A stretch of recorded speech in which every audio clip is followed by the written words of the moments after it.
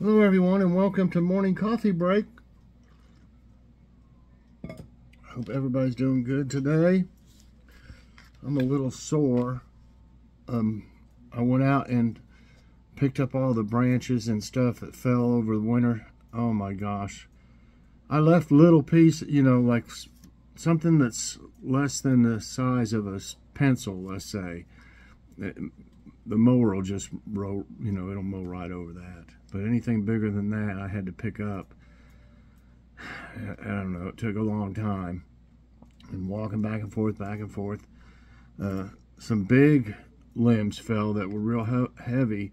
Uh, thank God they broke into pieces. You know, when they, obviously when they hit the ground, they broke. Um, because they would have been too heavy to drag down there. Uh, there was one I there was one that I couldn't uh, get that was uh, it was about four foot long, but it was pretty big around. It was too heavy to to drag. I may have to get um, my uh, wheelbarrow or something. You know, my wheelbarrow's got a flat on it, but I could probably fix that. Um, anyway, it's time to get the yard, whip the yard in shape, and it takes a while. Uh, I changed the oil in the push mower the other day and now I got all the branches except for the small ones uh, picked up. And um, now today I need to change the oil in the riding mower and put that trickle uh, battery charger just a trickle charger. Just charge it real slow. I need to put that on there because we're going to try to mow. I think we're going to have to mow su uh, Sunday and we don't like to do that. But um, according to the weather.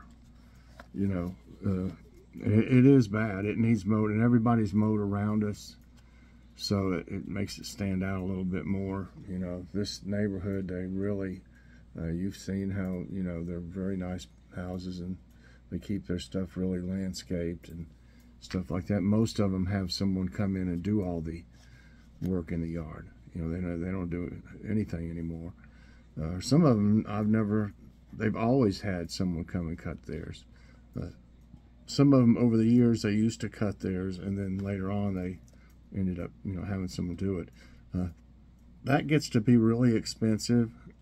Mm, uh, I might have considered it this year if we hadn't lost, well not lost, but you know Joy started on Medicare, so we have to pay that premium of 175 bucks, 174.70. But um, you know, so that kind of hurts the budget. Um, and it's they charge a lot to mow a big yard like this too, so it would just be really high for a month. You know, they probably mow it four times a month. I, I would imagine every week. Um, anyway, just thinking out loud, I guess. Um, but I'll once I get in a little bit better shape, you know, uh, the, even though the walking that I did just wasn't enough, I can tell right now uh, I'm going to have trouble. And I've also got to place one of those like calluses on the bottom of my right foot that it really hurts after walking so much. Um, but I'll get used. I mean, I won't get used to that, but I'll get used to it more. You know, when I get in a little bit better shape. I'm gonna have to take a lot of breaks the day we mow and that you know that's kind of what I did last year anyway. I've got some uh, Powerades, not Gatorade, but Powerades. They're pretty much the same thing. Um, and I always drank, you know, something like that while mowing and afterwards. Well, no, I take that back. I have water with me when I'm mowing, and then afterwards I drink the uh, either Gatorade or um, Powerade, and it helps. Uh, anyway, today's Saturday, March 23rd. Uh, currently it's 50 degrees. High today is 52. 60% um, chance of rain today. Um, winds are at 7 mile per hour. Okay, today I, I think everything's okay for this. Um, Logan wanted to do a, uh, it's a one of he's going to call it Logan Show and Tell, and it's Katy Perry collectible items. He wants to show some more of his uh, collectible items that he has of Katy Perry. And that, that's great. I'm glad he's, you know, doing doing something else. He's got, let me tell you, he's got all kinds of stuff that's neat, collectible stuff. He sure does. Not just, I mean, of Katy Perry, of, of other things too. Um, but yeah, so he might start. You know, I'll, I would encourage him to do so. You know, uh, he does a great job with Logan's Awesome Snack reviews, and you know, he I could already tell the other one we did, he'd do a great job on something like this too. So I'm all supportive of it. Okay, uh, let's. Uh, uh what's for dinner? Um, I'm going through these freezers, and you know, it kind of makes me mad when I we buy something and then we don't eat it before it gets freezer burnt. You know. Uh, that's what would help, like I said, is to have an inventory, a running inventory. And uh, it'll be easier for me to make one because I've got this one over here. Uh, it's only got about that much of it. You know, the rest, it's got this much empty and just this much in it, you know, with stuff in it. So I'm doing good. I want to get that. And I think it's manageable now to just take everything out of it. Um, and put over here on the table uh, to clean it. I mean, to get the ice off the sides and stuff. So, so I'll probably be doing that soon. I'm trying to get things, you know, I've got like a mental list of stuff and I, lots of it, I never get around to it that way. So I need to start writing more down. And when I think of something that needs done, uh, write it down. I write lots of other stuff down, but I need to write, you know, things that need done so I can check them off, you know, when I'm done doing it. But today, um, I found some uh, chicken, some chicken tender, uh, I mean, not chicken tenders, chicken breast, boneless chicken breast. And I thought that uh, there was some boneless chicken breast. There was two other packs in there, and I thought they were chicken. But it turned out they were um, pork chops, and they were from uh. September of 22. So, uh, you know, usually I'll write on them with a Sharpie. And what happened was I put them in with a bunch of chicken, and then I kept getting, the chicken was on top. I kept getting chicken out, chicken out, and then I got down to one pack of chicken, and I, I thought, well, I'm, I better use these others, and they were they they weren't you know I didn't trust them to be any good. They they probably would taste like cardboard or something you know for being in there that long. You know how something freezer burnt tastes. I can't stand that taste. Not that it would make you sick or anything. It's just the taste. You can tell. You know I can't take anything uh, that's you know freezer burnt taste.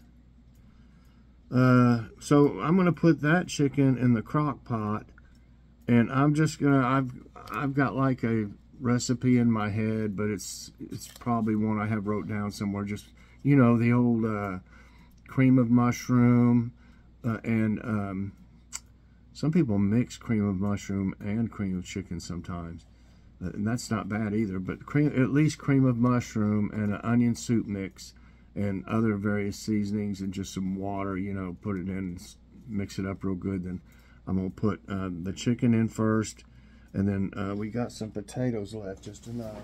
No, there's actually more than I thought. So we got plenty of potatoes. I thought we were about out of those. So we're going to cut up some potatoes, and I got, either I've got some, I think I got some fresh carrots in there. But even if I don't, I've got some frozen uh, carrots. I don't know if I still have any from my garden or not. I know I got like a frozen half a bag of like Kroger brand uh, carrots but I'm pretty sure I still got some of the little baby carrots that we'll throw in there with it. And then I'll pour the all the stuff on top of the chicken and all the veggies. And it, that's always good. It is always good and nice and tender. Okay, jokes, jokes. Husband, babe, after work I had an accident. Sabrina took me to the hospital. After various tests, they said I was in a bad state with cervical dislocation, multiple facial injuries. Also, they will have to amputate my right leg. Wife. Who is Sabrina? oh my gosh. Oh, I would have a fit. oh man. Okay. A police officer stops a young woman for speeding and asks her very nicely if he could see her license. She replied in a huff, I wish you guys would get your act together. Just yesterday you take away my license, then today you expect me to show it to you? Thought of the day is from Carrie Fisher. She's, you know, from Star uh, Wars. Uh, instant gratification takes too long. Okay. Uh, now, I saw a, um, uh, where was it? I saw one up here. Um, let's see, that's medicine. Uh, let's see. I know I had one. Uh, here's uh, Egyptian uh, mythology or something. Okay, let me. Uh, do you have to go to it first? Anyway, it doesn't say go go to the thing, you know, to press something. So I'll try it. In Egyptian mythology, who was the goddess of war? Bastet, Isis, Sek, Sekhmet, Hathor. Bastet, Isis, Sekhmet, Hathor. The only one I've ever heard of is Isis, and, I, I've watched lots of documentaries on uh, Egypt and stuff, and the tombs. I just think the tombs are amazing. Well, that's going to have to go to it, I guess. Okay, I'm going to answer uh, ISIS. Well, no, it wasn't. It was uh, Sekhmet. S-C-K-H-M-E-T. And I never heard of that before. Let me see what it says about it. Sekhmet, also spelled Sakhmet, is a, a, goddess of war and the destroyer of the enemies of the sun god, Re, in Egyptian religion. Okay, so next question, missed the first. But now I know. What U.S. president was the first to visit China? Richard Nixon, Bill Clinton, John F. Kennedy, Dwight D. Eisenhower. Hmm. Richard Nixon, Bill Clinton, John F. Kennedy, Dwight D. Eisenhower. I don't remember. Uh, hold on a minute. I just got something popped up here. Okay. Uh, which U.S. president was the first to visit China? Richard Nixon, Bill Clinton, John F. Kennedy, Dwight D. Eisenhower. Uh, for some reason, it seems like I remember Richard Nixon. Let's see. Yeah. Uh, and I have to scroll down to see what it's about. On February 21, 1972, President Richard Nixon arrived in China for an official trip. He was the first U.S. president to visit the People's Republic of China since it was established in 1949. Wow. Next question. In which of New York City's five boroughs is Coney Island located? Bronx, Manhattan, Queens, Brooklyn. And which borough is Coney Island? Um, I, I'm not for sure. Bronx, Manhattan, Queens, Brooklyn. I'm just going to say Manhattan.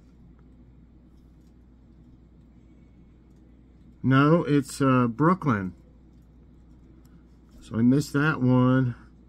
Coney Island is an amusement and residential area in the southern part of the borough of Brooklyn, New York, U.S., fronting the Atlantic Ocean. This is formerly an island. It was known to Dutch settlers as Konijn Eiland, Rabbit Island, which was presumably anglicized as Coney Island. Hmm. Okay. So one right and two wrong. I'm I'm learning though. What was the temporary capital of the U.S. between 1790 and 1800? The temporary capital. New York, Charlotte, Philadelphia, Boston. I, you know, I don't remember temporary. Temporary. New York, Charlotte, Philadelphia, Boston. I'm I'm not really knowing this, I don't think. I want to say Boston. No, it's Philadelphia. Uh, after the Continental Congress met inside Philadelphia's Carpenter's Hall in 1774, it reassembled the following spring inside the Pennsylvania State House, where it adopted the Declaration of Independence on July 4, 1776. And then, and Philadelphia served as a temporary capital. Hmm. Missed that. I thought I knew stuff about stuff like that, but uh, we got more to learn. Larry Bird spent 13 seasons with which NBA team? Phoenix Suns, Los Angeles Lakers, San Antonio Spurs, Boston Celtics. I'm not really up on NBA that much. I did meet um, Wilt Chamberlain. Uh, I think he played for Detroit.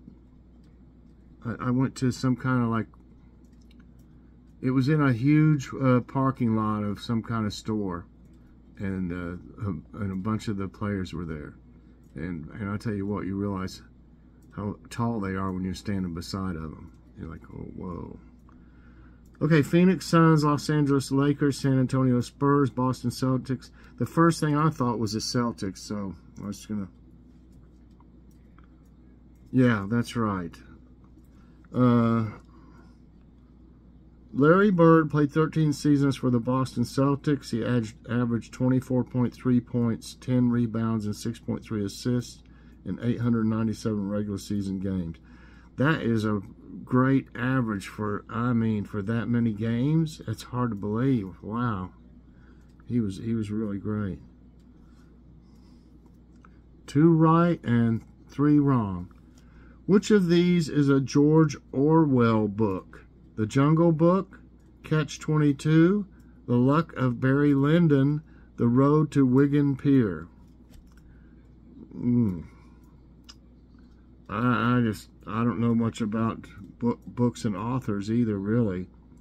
The Jungle Book, Catch 22, The Luck of Barry Lyndon, The Road to Wigan Pier. I, I don't think he wrote uh, Jungle Book. I'm, I'm, my first thought was Catch 22, but I don't even know. Answer.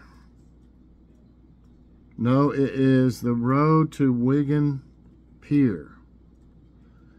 The Road to Wigan Pier is a book by the English writer George Orwell, first published in 1937.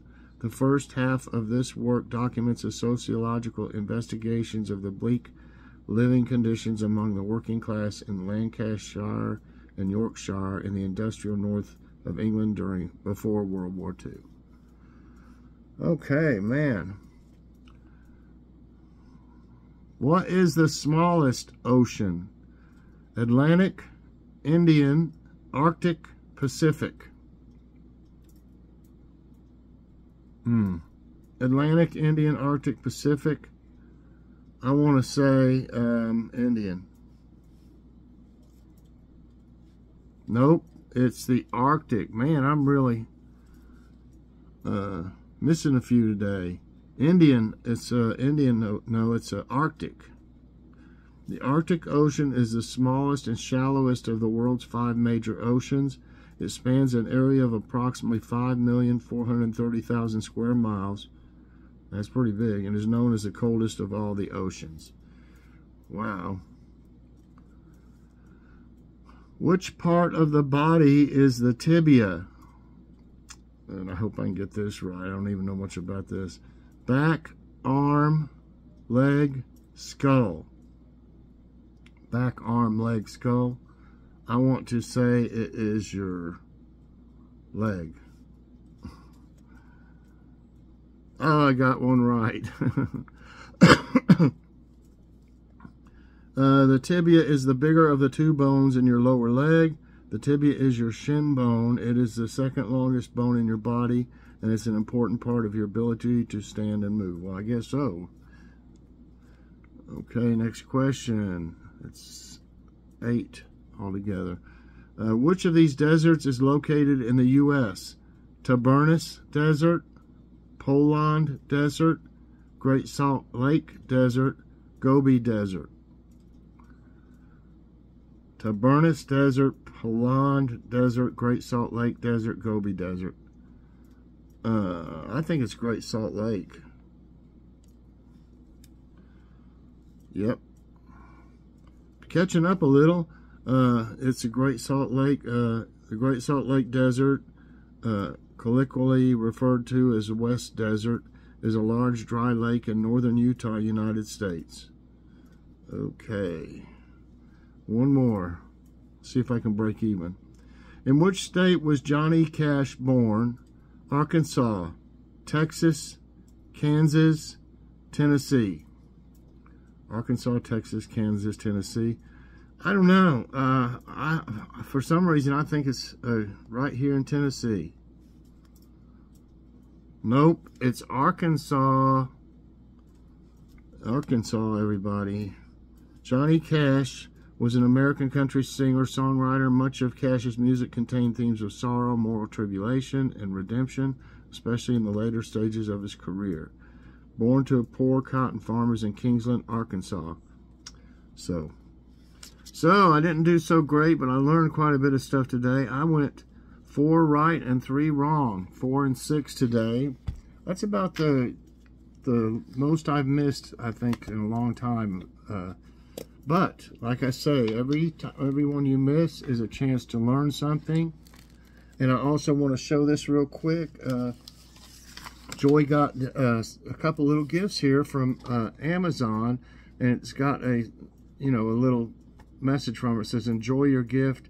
May you have a great birthday from Crystal." Uh, it's Crystal Cesares from uh, Crystal's Place, and she's also got Crystal's Pets and Plants. Check out her channel.